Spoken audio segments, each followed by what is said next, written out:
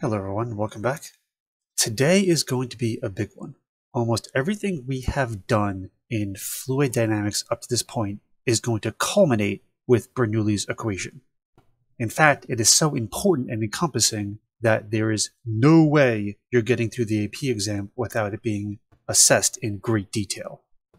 And because of that, I'm going to take this video and do nothing but really introduce the equation, where it came from, and how it will be used to make sure you understand every part of it. And part of the reason for that is Bernoulli's equation is actually a bit of a jump to an earlier, much more powerful topic. Bernoulli's equation isn't technically about fluids, it's about energy. And if we're going to talk energy, we need to bring up the single most important energy rule in the universe, and that is this energy can neither be created nor destroyed. In other words, energy is conserved. As long as you have a closed system, the amount of energy you start with has to equal the amount of energy you end up with. Now you may ask, what does that have to do with fluids and pressure? Well, let's have that conversation right now. To start with, this is a fire extinguisher. Inside this canister is basically a fluid or foam.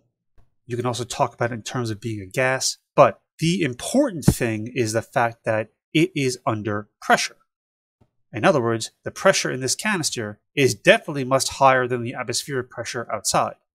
Now, if you were to pull the trigger on this canister, it actually opens a valve that allows an open path between the canister and the hose. When that happens, the pressure tries to normalize with the atmospheric pressure and pushes out the foam and actually accelerates the foam from rest, which is going to be important. Taking that same idea, here is a paintball gun. So a paintball fires little round balls full of paint that are not pictured here, but the important thing is here is the canister that is under high pressure. When the player pulls the trigger, again it opens a path from the canister to the barrel. Again, the pressure will try to normalize, and if there's a paintball ready to go in the barrel, that paintball will be fired out of the barrel. So the concept on how a paintball gun works and how a fire extinguisher works is essentially the same. Both have a canister under pressure, and both use the energy stored in that canister to actually accelerate a mass and give it a high velocity upon exit. Now, to help get the point across, I'm actually going to use the paintball example, but I'm going to simplify it. So here's my simplified version of the paintball example. I have my canister under high pressure. I have a valve here. Uh, instead of just the ball, I'm going to have a piston right here and then the ball. So to give you a little better view, this is kind of what it looks like in 3D. Canister under high pressure, valve, and the reason why I wanted to add the piston is just to show that the pressure is being exerted over this area, which is a perfect circle. What I'm shading right now, that's the area I'm talking about. If there's a force or pressure exerted on that area, then the whole thing gets shot out of the barrel. Now, here's the important note we're going to be discussing. At this point right here, the velocity of the ball is zero meters per second. However, when it accelerates and gets shot out, it obviously has a final velocity well above 0 meters per second. And if it is doing that, then it is gaining kinetic energy. Because if you remember the kinetic energy equation, it is 1 half mv squared. Velocity starts at 0, we have a larger final velocity, so it is obviously gaining kinetic energy. Now the big question is, where is that energy coming from? Now, based on the fire extinguisher and paintball gun, you probably have already have a good understanding that the energy is stored in this high pressure canister. Well, how does that relate mathematically? Let's see if I can give you a good mental image here. All right, so this canister is under high pressure. I lift the piston. That high pressure then expands and pushes onto this area. Now, that piston is then pushed a certain distance this way. And I'm going to simply call that distance or displacement, make that delta x. Now, if this was just a single point force moving that distance, I would have force times displacement.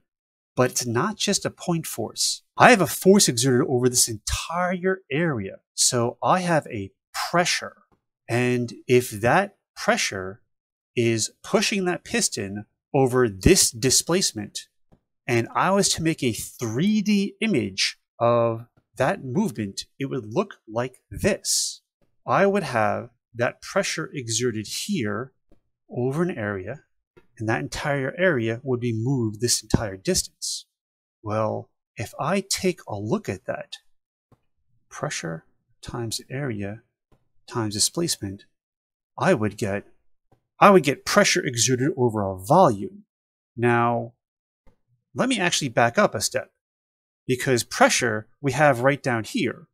Pressure is force over area, and I literally just condensed volume, which was area times delta x. Well, if I do that, these areas both cancel. And if I do that, I get force times displacement.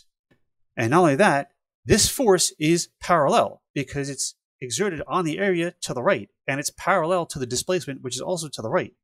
Bonus round, where have you seen force times displacement before?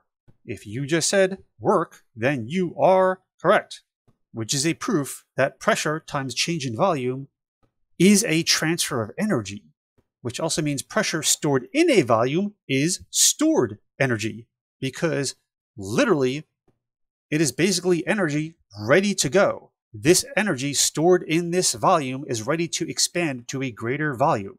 So how much energy is stored in here? It's the pressure times the volume of this container. And a side note, this is technically gauge pressure because we're basically pretending the outside pressure is zero. I want to make sure to say this because it is typically not directly stated. However, think of it like this. For my paintball gun, if I want to increase how much energy my canister has, how can I do it? Well, there are two ways. One is to increase the pressure in the canister. That's just fine, although there are regulations, obviously, for safety, stating how high the pressure can be. Another option is to simply get a bigger canister. If I double the size of this canister, and have the same pressure, that means you have twice the amount of energy stored in the canister. That is why you can actually find different size canisters. A player obviously doesn't want it to be too big because then they have to carry it around. All right, so to make this very clear, pressure times volume equals energy. And its stored potential energy, I'm just going to call it UP. So it matches our other potential energy labels. I'm going to take that and put that up here on the right. So pressure times volume is a stored type of energy, which in our paintball situation became kinetic. Now let me show you another situation that's kind of similar. Here I have a pipe. I have fluid going through here, which I'll just call section 1, rises through here, and is moving through here, which I'll call section 2. Now the pipe has a uniform radius. If I take a quick look at the last formula we derived, if the pipe has a uniform radius, that means the pipe has a uniform cross-sectional area. If the pipe has the same cross-sectional area in 1 and 2, that means the velocity does not change. So whatever the velocity is here, the velocity is also equal here. So there's no change in kinetic energy. However, if this is my height line, I'm going to make this 0 meters. Because when in doubt, always make the lowest point in the problem your base. Now, if you notice, I chose the center of the pipe, not the bottom of the pipe. That's because on average, the lowest level of fluid in the pipe is dead center because I have some up here and some down here. The same thing is going to be true for the top of the pipe. So some is going to be up here, some is going to be down here. The average is going to be here. So this line represents my height final. Again, dead center of the pipe. Now we just said the velocity does not change which means you have no increase in kinetic energy. However, we do have a change in height. And if we have a change in height, we have a change in gravitational potential energy, MGH. So if we have an increase in gravitational potential energy, the question then becomes, again, where did the energy come from?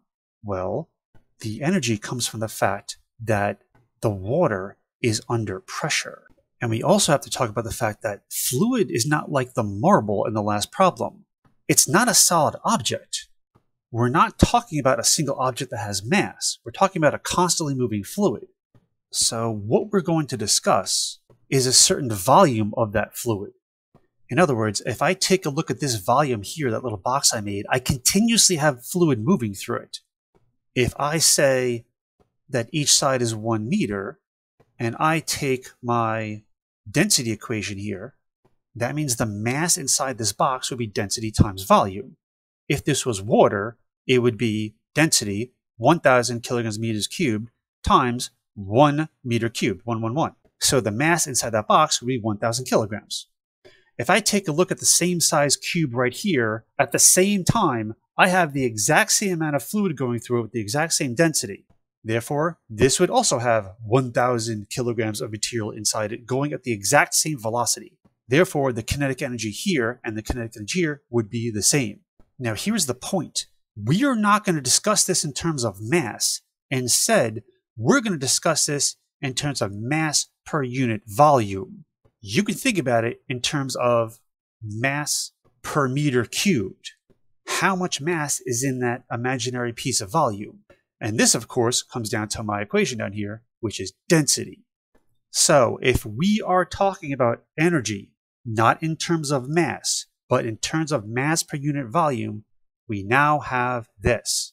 Gravitational energy per unit volume equals mgh over volume which is rho gh, because mass over volume, again, is density. Kinetic energy over volume is 1 half mv squared over volume, which is 1 half rho v squared. And last but not least, we just derived that pressure times volume is a type of stored energy. Therefore, if I just divide both sides by volume, I have that stored energy over volume equals pressure. So pressure is not energy pressure is energy over unit volume. You can kind of think of it as an elastic potential energy because it's not all that much different. If you have the fire extinguisher under high pressure and open up that valve, that pressure is going to do work and push that foam, or in the case of the paintball gun, push that paintball out the nozzle. So we now have three types of energy we're dealing with, or better stated, energy per unit volume gravitational, kinetic, and pressure. If we combine that, with one of the most important laws in the universe energy can neither be created nor destroyed, we then have this.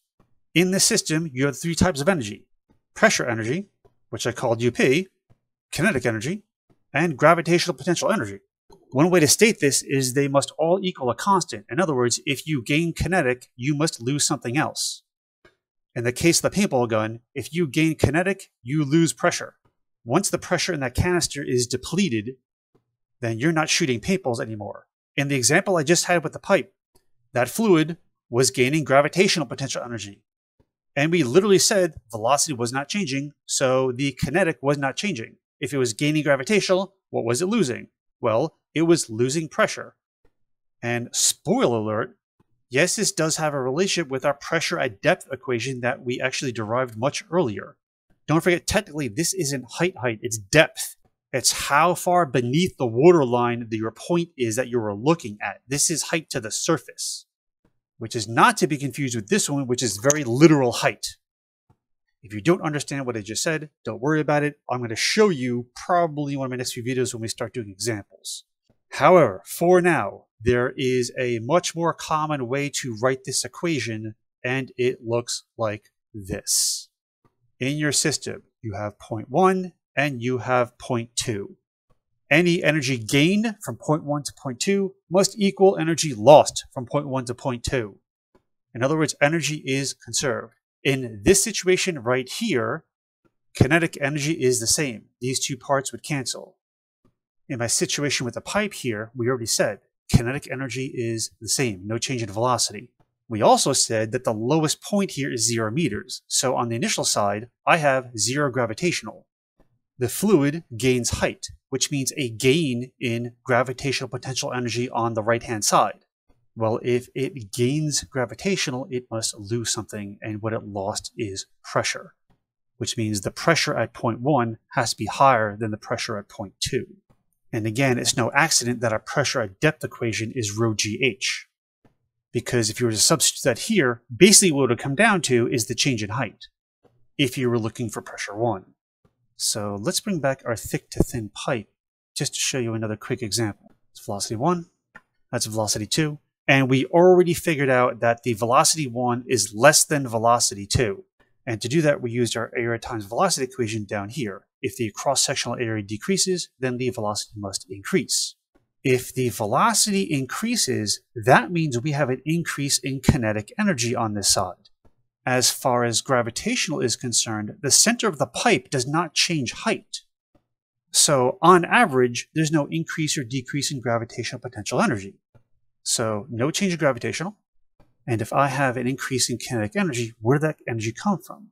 Well, that energy, or energy per unit volume, I should say, came from pressure. Because if you remember in the last video, we already stated that the fluid in the wider tube that is moving slower is going to be under higher pressure.